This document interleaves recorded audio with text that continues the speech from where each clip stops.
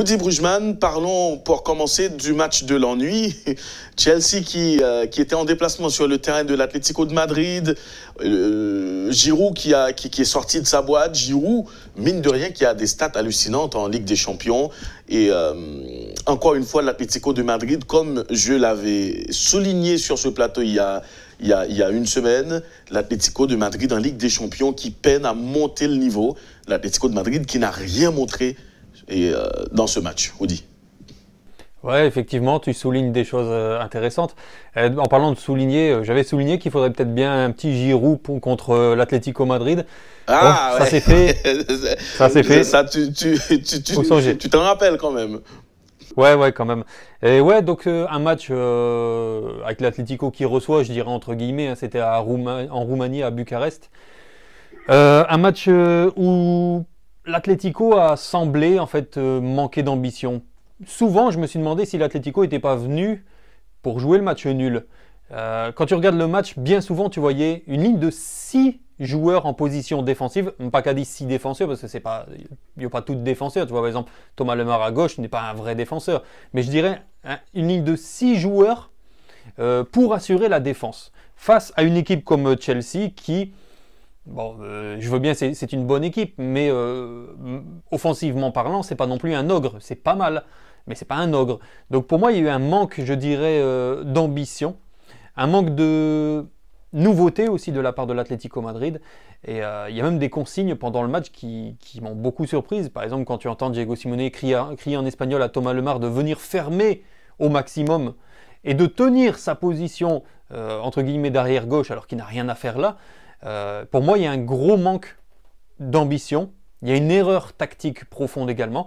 Donc, euh, une tape dans le moi avec une bataille tactique entre l'Atlético et Chelsea, mais franchement, euh, ça aurait pu être beaucoup mieux.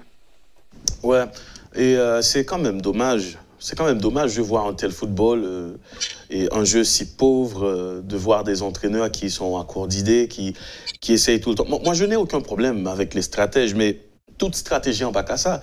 L'Atlético a des joueurs qui peuvent jouer au football, qui peuvent nuire euh, à cette défense londonienne.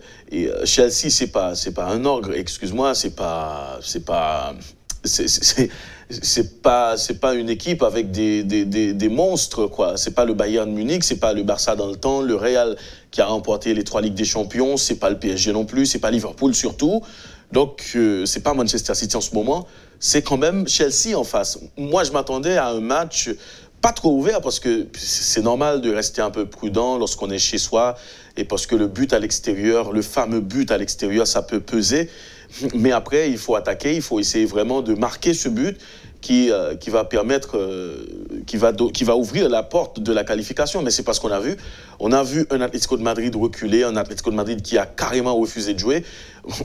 Moi, t'es toujours connu que l'équipe euh, Thomas Tourelle remet si possession, remet et à l'aise, etc. Moi, je m'attendais à un match, par exemple, euh, lorsque l'Atlético de Madrid a eu à jouer contre le Barcelone, mais aussi le Real de Madrid dans le temps, le LTG pour le faire quelques belles performances contre le club Zayo.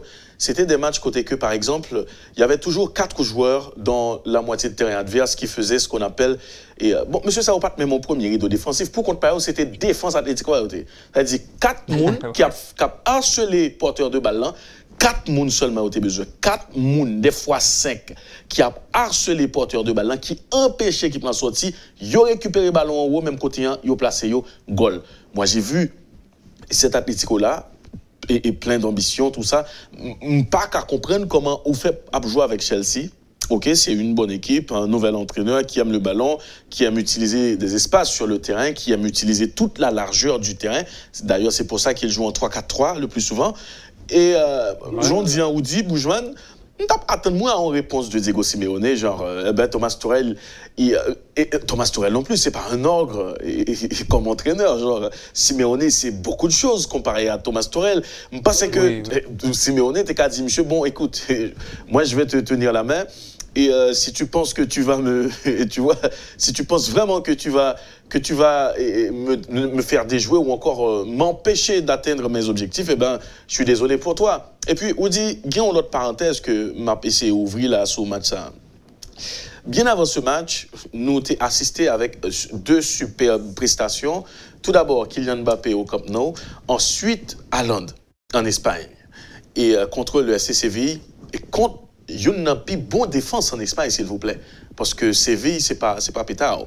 Et, euh, mhm.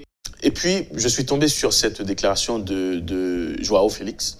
Lorsqu'il a dit, il va falloir qu'il fasse un peu plus, vraiment, il va falloir qu'il s'y mette un peu plus pour atteindre le niveau qu'affiche Mbappé, mais aussi Haaland. Donc, c'était question que nous étions toujours posé tête nous. Est-ce qu'il a fait le bon choix en rejoignant l'Atlético de Madrid alors qu'il était courtisé par le C Barcelone, alors qu'il était courtisé par d'autres clubs européens? Mais il a choisi l'Atlético de Madrid, je ne sais pourquoi. Et du coup, écoute, et, euh, ça ne fait que défendre. Comment tu veux, avec autant de talent, défendre avec autant de talent, c'est c'est comme sous tes fort en français et puis ou, ou elle fait section côté ces mathématiques seulement je la donne.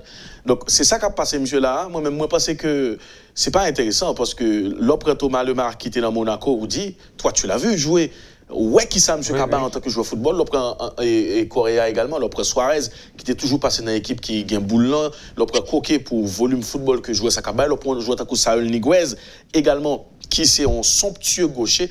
Donc, moi-même, moi, pense que c'est du gâchis. À un certain moment, il faudra s'adapter à son adversaire, mais un problème, quand il faut défendre, il faut défendre. Mais comment attaquer? Comment attaquer? Parce que pour l'instant, l'Atlético de Madrid traverse une mauvaise période.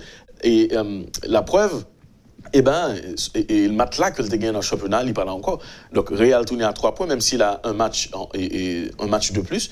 L'Atlético de Madrid qui, qui, qui aura joué moins de matchs que le Real de Madrid. Mais, monsieur Yo, Yo en méforme actuellement, où dit mmh, ouais, ouais, effectivement. Et en plus de ça, en plus de la méforme, euh, je dirais sur le terrain, dans le vestiaire, ça va pas non plus. Et il y que, où tu as supposé observer pour capable identifier ça qui a passé dans le vestiaire. Hein. Parce que, euh, par exemple, j'ai suivi avec attention la, petite interview de Thomas Lemar hier, euh, après le match, je veux dire, entre l'Atlético et puis Chelsea. Il y a deux mots qui parlent, qui sont très forts. Premier mot, c'est frustration. Il parle de frustration, l'y frustré, parce que il dit journaliste que oui, nous avons des, joueurs pour nous capables d'aller vers l'avant, montrer plus d'ambition, donc il y a de la frustration. Et deuxième point, il a parlé de sacrifice, parce qu'on lui a posé la question pourquoi est-ce qu'il jouait à cette place-là? Il a parlé donc de sacrifice, frustration et sacrifice. Donc ça veut dire que gon désaccord déjà entre Lemar et puis peut-être d'autres joueurs, parce que le désaccord est, contagieux, hein, et d'autres joueurs, et puis la vision du coach. Ça, c'est la première chose. La deuxième, c'est que lorsque les joueurs ont quitté la pelouse, donc euh, Lemar et puis Giroud, en tant que Français, se sont retrouvés pour parler un petit peu, et puis Giroud lui a dit comme ça, mais tu as joué où? Je t'ai pas vu. Et Lemar a dit, je suis arrière, j'étais arrière gauche. Et après, il a fait comme ça. Donc tu vois, langage non verbal, ça veut dire clairement que, que ça n'allait pas et que ça, ça, ne fonctionne pas de toute façon. Donc euh, je pense que dans, cette situation, Simeone, aurait tout intérêt, tu vois, à parler avec les joueurs cadres, essayer de trouver une solution dite collective à la limite, tu vois, mais ne pas aller euh, à l'encontre du talent de ces joueurs, de leur vision peut-être aussi, euh, parce qu'il y a de la frustration. Un peu trop lâche, Diego Simeone en Ligue des Champions. Déjà contre le Bayern, ça parlait chinois. Et puis là encore, euh, contre Chelsea, c'est quand même Chelsea. Et, euh, et l'Atlético de Madrid n'a pas existé. M senti ke msè Pat Jaman vi gen yon balon. Lò pron jwa ki super teknik ke msè achete, lò l'achete l n di bon, la kon yon avre, an pil moun gen problem paske son milieu de teren ki pou mwen men gen an pil, an pil e talan ki se Kondobia. Msè kite l souban, padan tout matchan, li va jam montel, nou kon nan ki pouen ek sa bon. Msè apjou nan valans, msè empèche mi tante FC Barcelona jou pou kon pal. Donk sete, sete, pour moi-même c'était une plus belle transfert que monsieur était joindre le film quitté et partait aller joindre Arsenal.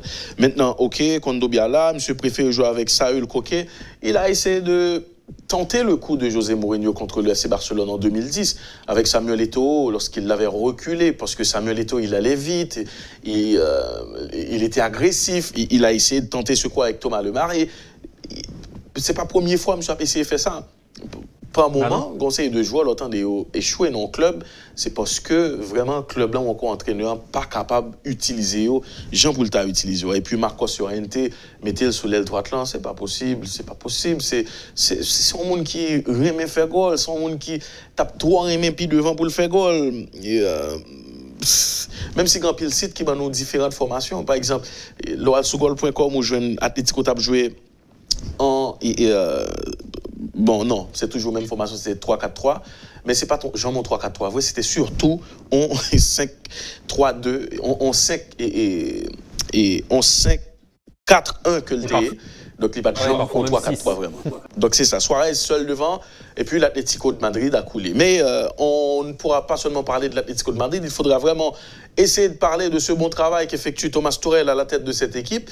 Il a mis tout le monde dans sa poche, Thomas Torel. Il est arrivé à Chelsea, l'équipe était en crise, l'équipe ne gagnait presque plus. Et puis bon, lui, il arrive avec son projet, sa vision de jeu, etc. Et puis les jeunes, nous pas jamais de parler de ça sur plateau 1. Bah et Thomas Torel, on paquet de jeunes, et puis il a fait de eux des champions comme Ousmane Dembélé, etc. etc. Et c'est ce qu'il est en train de faire et aller gagner sur le terrain de l'Atlético de Madrid tout en restant euh, solide, c'est pas rien. Et puis, euh, bien sûr, ce but de cet attaquant sous-côté, cet attaquant, et, euh, cet attaquant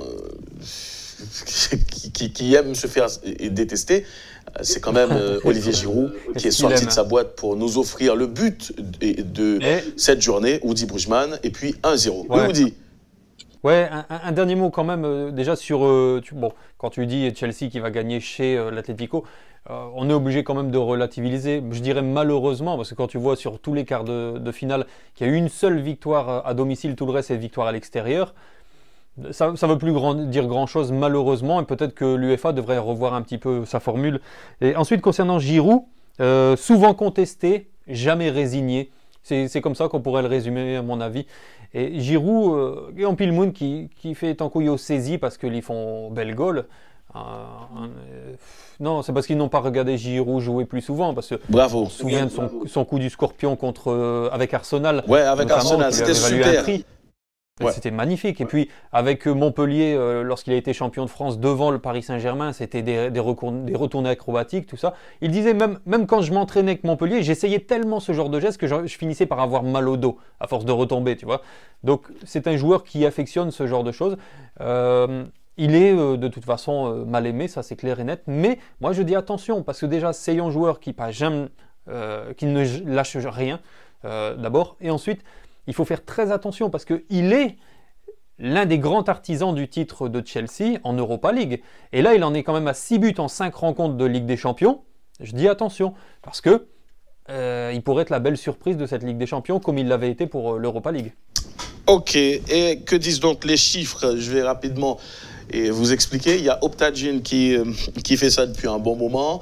Et c'est euh, fait stat pour tout le monde. Nous allons qui ça, j'ai oublié qu'on y a pendant, après, après ma, ma, ma, venue sous sa venue. Donc, tenez bien, seuls trois joueurs ont inscrit plus de buts qu'Olivier Giroud en compétition européenne depuis 2018-2019. Et qui trois joueurs ça, s'il vous plaît? Le premier, c'est Lewandowski, avec 27 buts. Le deuxième, c'est Messi, avec euh, exactement 19 buts. Et puis, le troisième, c'est Haaland, avec 18 buts.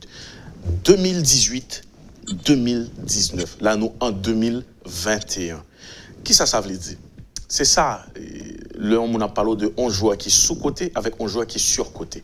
Par exemple, euh, Paul Pogba, il a été longtemps sur-côté. Il y a plein d'autres joueurs encore qui sur-côté, grand pilote qui sont sous-côté. Il y a qui parlé de eux, il y qui considérer et même si on parlait de eux c'est considération avant tout. C'est le plus important. Parce que vous parlez de Giroud parler en bien ou en mal d'un joueur vous parlez de lui. Il existait. Tout le monde euh, et connaît son existence. Mais après considération hein, dans que tout le monde dans les yeux tout le monde dans les yeux entraîneur dans les yeux joueur etc parce que Giroud malgré M. Banou Stade, ça va oublier son super sublié. Donc, ce n'est pas un joueur qui a joué à 100% dans le club.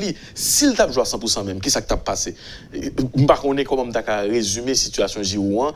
Et euh, après, ce n'est pas un attaquant qui va te. Euh, c'est pas un attaquant qui va pouvoir vraiment évoluer en faux neuf ou encore euh, qui est mobile, genre euh, Karim Benzema ou encore Robert Lewandowski. Et, euh, qui peut il peut jouer de haut but par contre, il est un bon pivot, mais il, n'aime pas décrocher parce que c'est pas c'est pas technique jouette ça. Mais c'est un attaquant à la finition qui est extraordinaire. Sous un Giroud par exemple, je sais que je vais oser. Sous un Giroud, mettez le dans Bayern Munich, Giroud a fait un pile rôle clé sous ça. Il a fait un pile goal. Donc là, on jouait, a fait tout goal ça, on a une équipe de Chelsea qui souvent déstabilisée, qui souvent est bien problème, qui souvent est, euh, a changé coach, etc. C'est pas rien non plus. Donc Giroud, il a joué et avec combien, combien d'entraîneurs? Il a joué avec Conte, il a joué avec Sarri, il a joué avec euh, et, euh, Lampard. Maintenant, il joue avec, avec Tourelle, etc., etc. Donc tout ça pour vous dire que le joueur c'est un à peine parce que tout le monde a pris un exemple, monsieur, pour dire, quel que soit ça, la vie, il faut passer. Où sont Olivier Giroud Parce que Giroud, il continue d'exister malgré, malgré les, les, les haineux, malgré, les, les, malgré ses détracteurs, même si nous comprenons détracteurs liés un peu, parce qu'il remplace quand même un certain Karim Benzema. Parce que moi, et euh, en 2010, je crois, Dunga n'a pas voulu de Ronaldinho pour euh, il a Seleção et puis euh, il a il l'a il, a il l'a remplacé par Ramirez eh ben, c'était le joueur que je détestais le plus, Ramirez. parce que qui n'aime pas Ronaldinho? Quand tu sais que c'est Ramirez qui remplace Ronaldinho. écoute, Ramirez, il n'existe plus. C'est quelqu'un qui mérite tous les mots du monde. Mais après, m'était vague et puis m'était bien content, il est éliminé parce que comment tu peux laisser Ronaldinho même sur un pied pour prendre Ramirez même s'il avait trois pieds? Bon, bref, tout ça c'est pour vous dire que je comprends certains détracteurs, mais après, Olivier Giroud c'est quelle force de caractère chez, ce joueur quand même. Ouais, ouais, ouais. Mais encore une fois, tu vois, c'est pas.